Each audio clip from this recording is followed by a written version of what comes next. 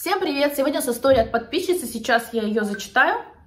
Я вам дам свой комментарий-ответ, и также вы можете написать свои комментарии для девушки. Так что давайте приступим. А, расскажу вам мою историю отношений с турецким мужчиной. Возможно, она уже закончилась на этот момент, я пока не знаю. Я из Украины, мне 45 лет, а ему 49. Познакомились мы с ним в Тиндере в апреле прошлого года. Я не очень хотела отношений с турком, но он отличался внешне, я обратила на него внимание. Он сразу мне написал, через несколько дней мы перешли с ним общаться в WhatsApp.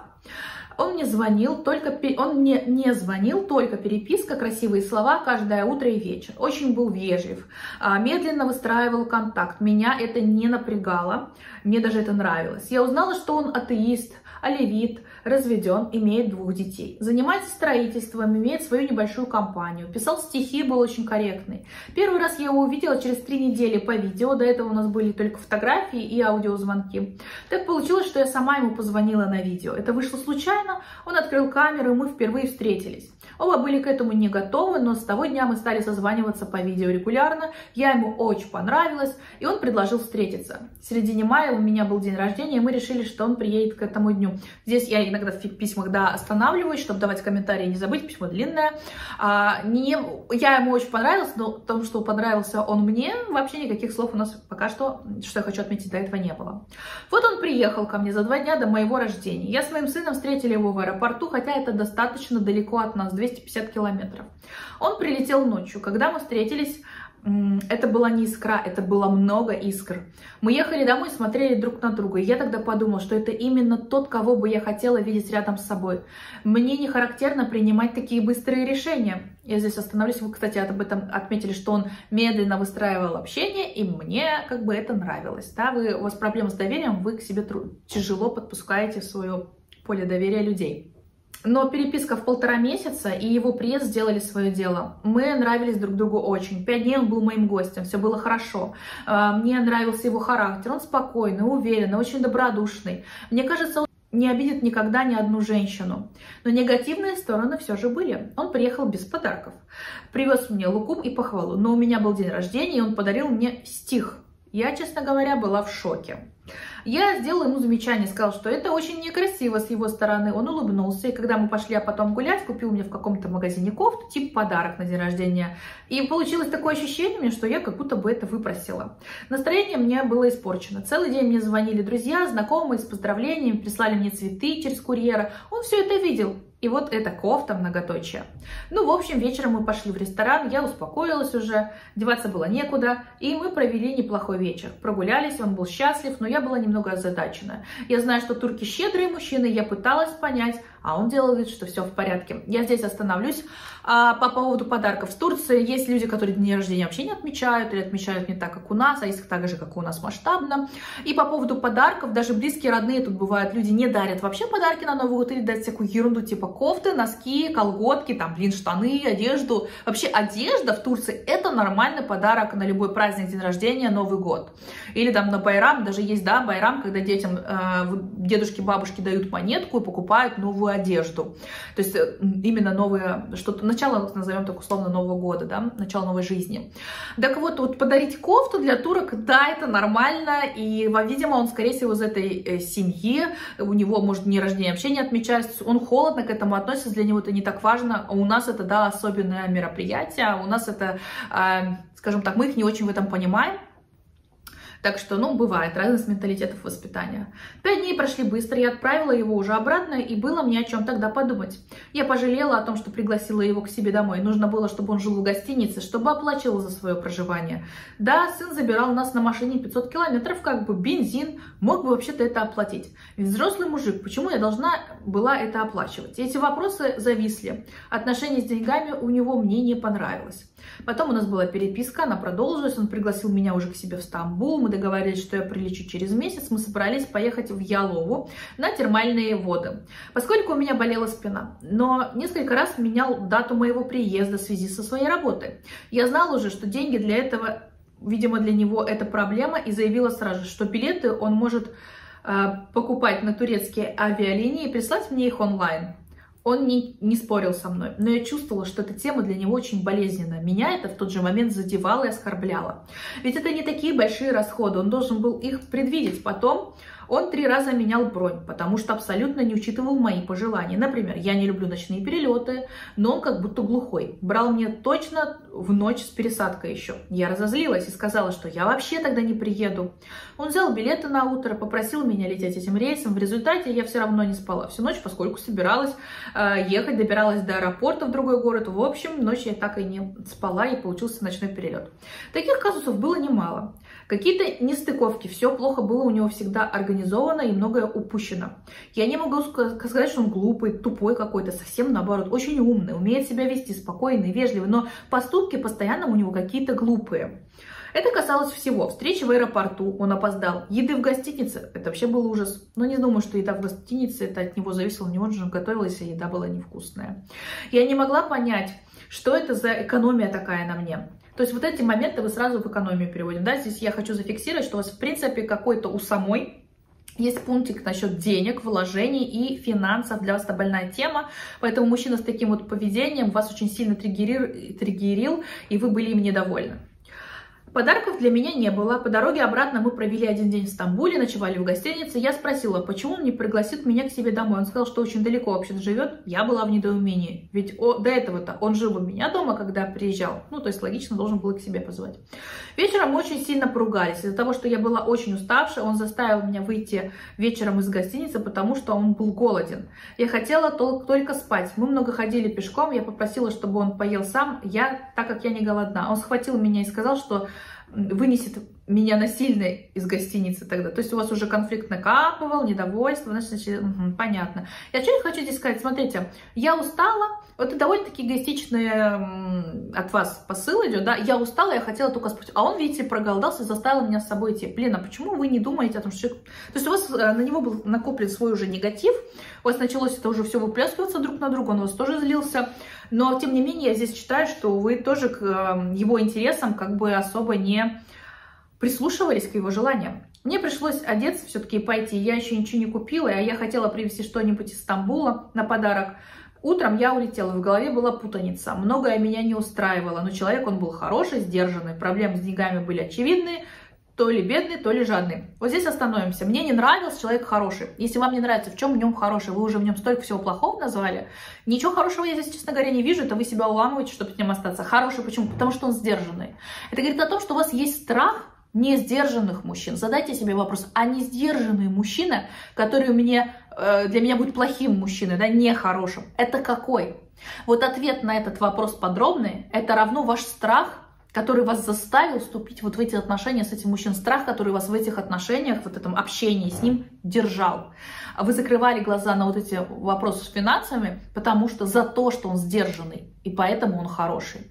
Ответьте для себя на вопрос, кто такой нехороший мужчина и не сдержанный. Я думаю, что это э, вопрос воздействия мужчины, насилия какого-то, скандалов и так далее. Как-то с вами плохо, нехорошо обращался какой-то мужчина в вашей жизни.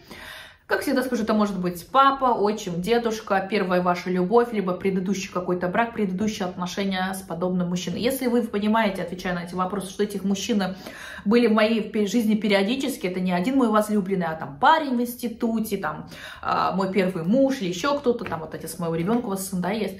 Если такие мужчины э, разные, но поведение их было одно такое не сдержанное, и он был нехороший, это говорит о том, что эта история, я выбирала таких мужчин, потому что кто кто-то да еще до них нанес мне подобную психотравму, я на этом зациклился и теперь выбирала себе мужчин, которые мне будут причинять боль. Это вам поразмышлять история. Продолжаем письмо читать. Потом у нас снова а, возобновилась переписка, он не оставлял меня ни на день. Скажу честно, это и приятно, и нет. Он постоянно отвлекал меня. У меня тоже есть вообще своя работа. Я была полностью растеряна. Мысли о нем, сомнения выбивали меня из колеи. Если бы он поддержал меня материально, купил хоть какие-то подарки, я была бы спокойна. Но это меня сильно настораживало. Вот вам ответ. Я еще пол письма прочитала. Вот ответ. Вы сами знаете ответы на все вопросы. Если бы он поддержал меня материально, купил бы мне хоть какие-то, мне не важно подарки, хоть какие-то подарки, я была бы спокойна. Мне важно вложение.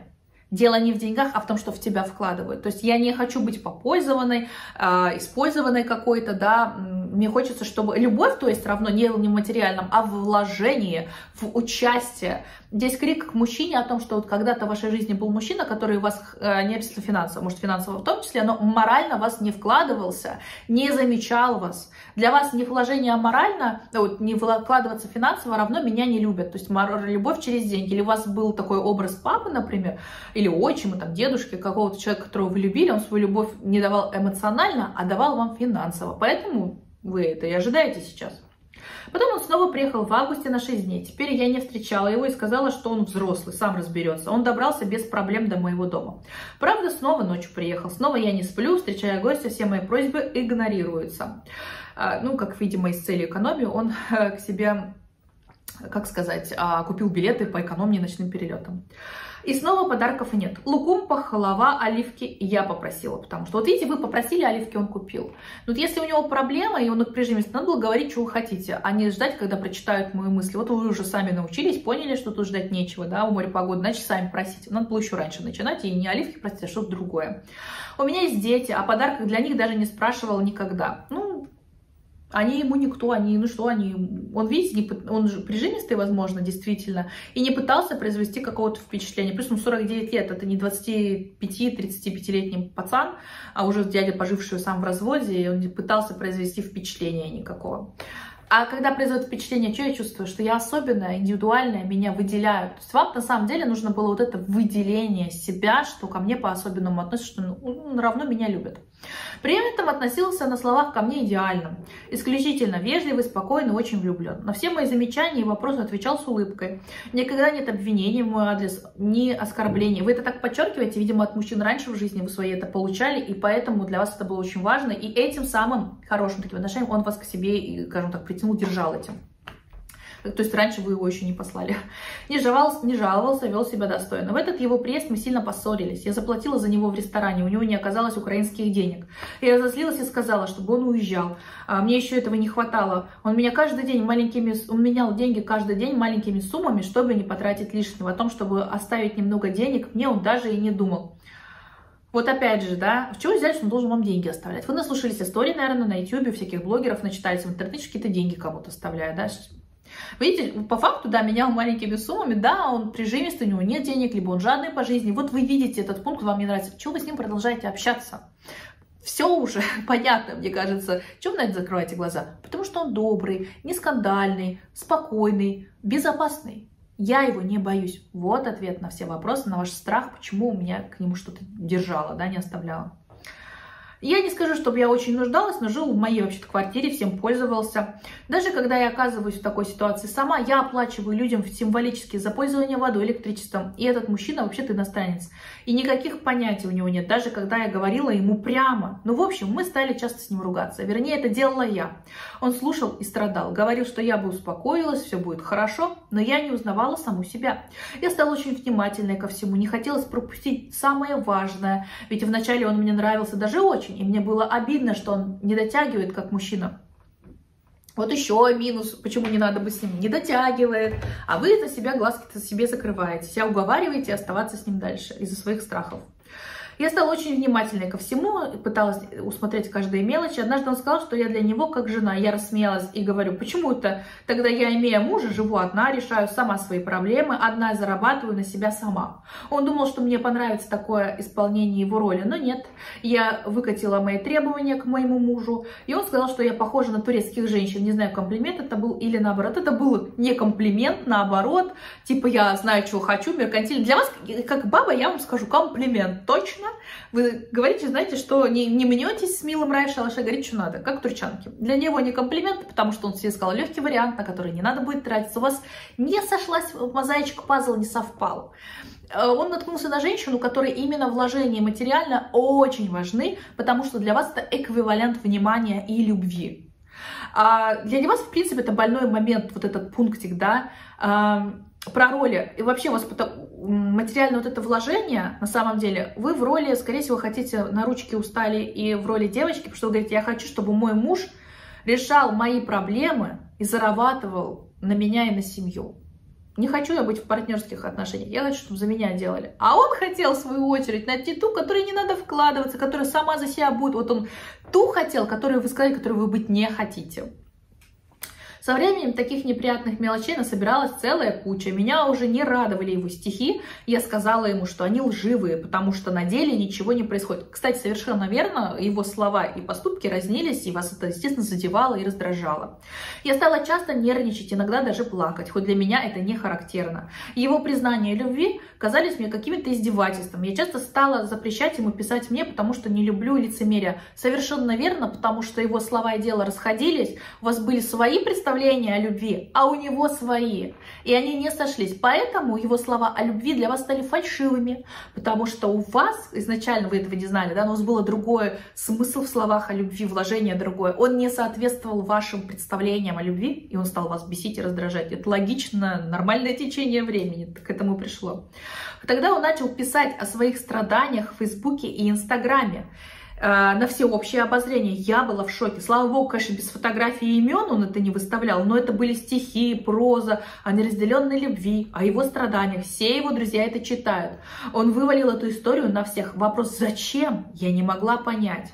Вместо того, чтобы все исправить, плакал на людях. Это было для меня просто открытием. Вот видите, он еще подорвал ощущение сильного мужчины, он показал свою слабость. На самом деле это его внутреннее реальное состояние. Это слабый человек, который не соответствует и, скорее всего, не соответствует своей бывшей супруге.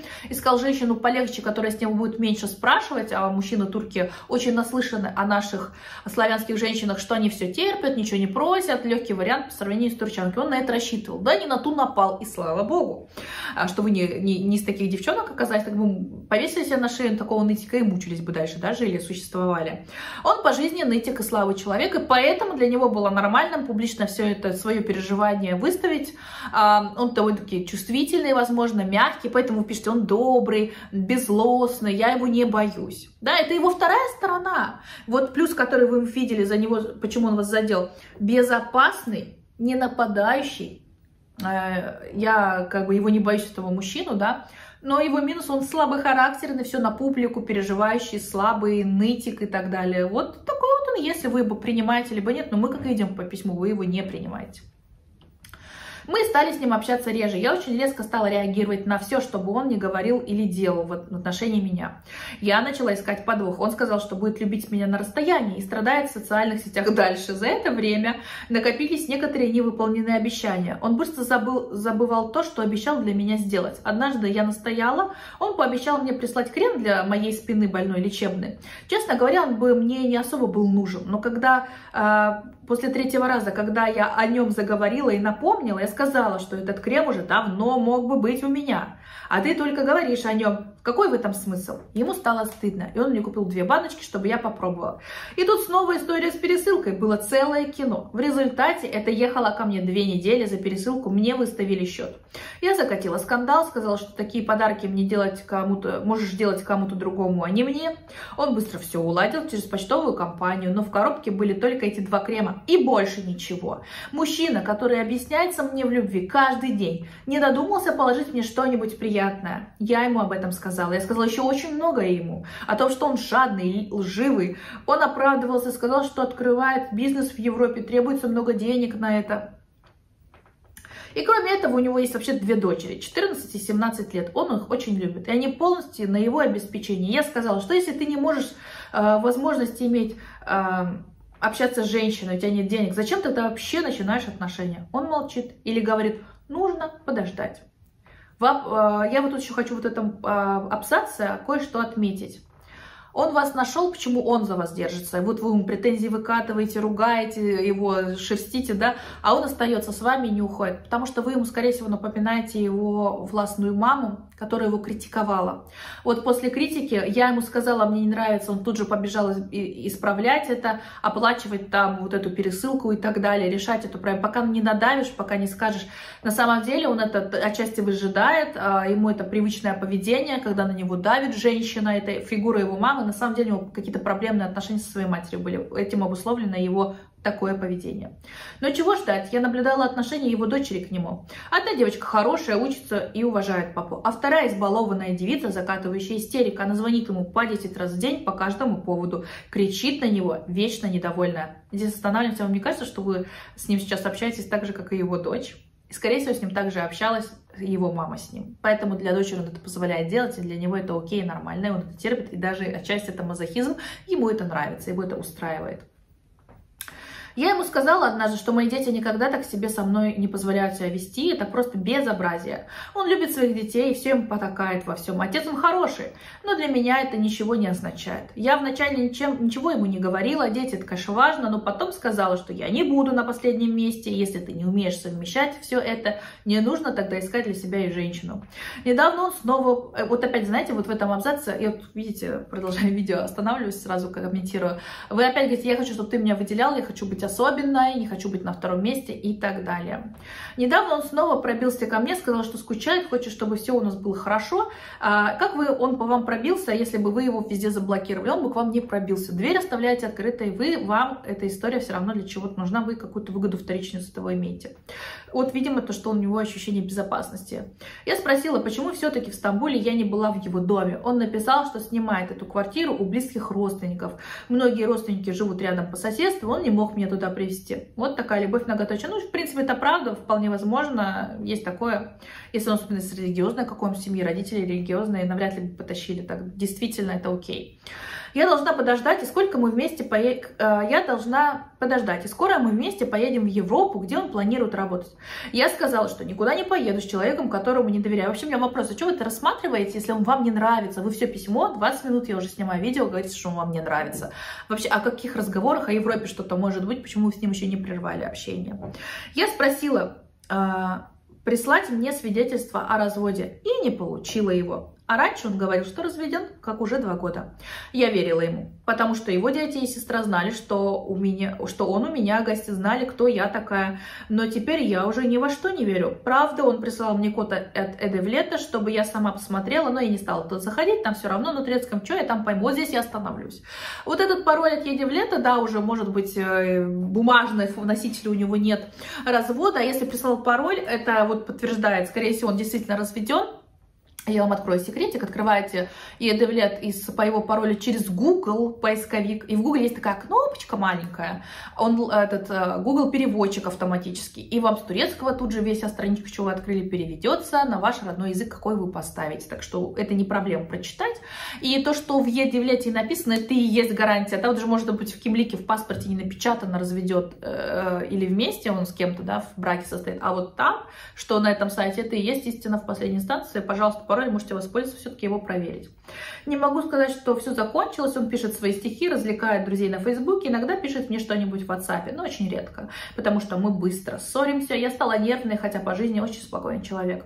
Сама себя не узнаю, ведь вначале он мне очень нравился, мне жаль, что все это рассыпается, но я знаю, какие качества мужчины важны для меня, и что в нем этих качеств нет и никогда не будет, как я думаю. Ему благодарна за все комментарии и за взгляд со стороны. А, с уважением, Валентина, буду благодарна за все комментарии и взгляд со стороны. Ну, я вам свои комментарии дала, девчонки тоже пишите. Вообще, Валентина, что вам хочется сказать? Вы правильно все подытоживаете, в него этого не появится, этот не ваш человек а вас держит только его вот это ощущение а, безопасности от него. А, здесь вопрос, на его месте мог бы любой такой тюфяк какой-то быть. Здесь вопрос, то, что я боюсь мужчин, вас, вас живет страх мужчин, воздействие. А, ответьте на вот этот вопрос, который вначале я видела, да, перемотайте, посмотрите, а, какой для меня мужчина безопасный и не страшный, да, вот мы мягкий такой, да, а какой опасный. В общем, вопрос здесь в вашем страхе. Надо с ним разбираться, может сходить к психологу, например, обратиться и а, решить этот вопрос. И больше вот на таких мужчин вы клевать не будете, не будете себе нервы трепать, нервничать, истерить и так далее. Этих проблем не будет. Надеюсь, мой комментарий, ответ вам был полезен. Очень на это надеюсь, что мои видео, в принципе, полезны. Если вам нужна моя консультация как психолога, какой-то там, не знаю, может, совет, рецензия или еще что вообще там о жизни в Турции, или просто как психолог, вообще любые аспекты, да, есть какие-то вопросы ко мне, я всегда под видео в инфобоксе оставляю свою почту, пишите, с темой письма консультация я вам отвечу, или пишите мне письмо от анонима, вот как эта женщина-автор это сегодняшнего нашего видео, да, повод был ее письмо, пишите историю от анонима, я сниму видео-ответ, отвечу на ваши вопросы в видеоформате. А, спасибо всем за внимание, жду ваши лайки, подписку на канал. Спасибо, всем пока.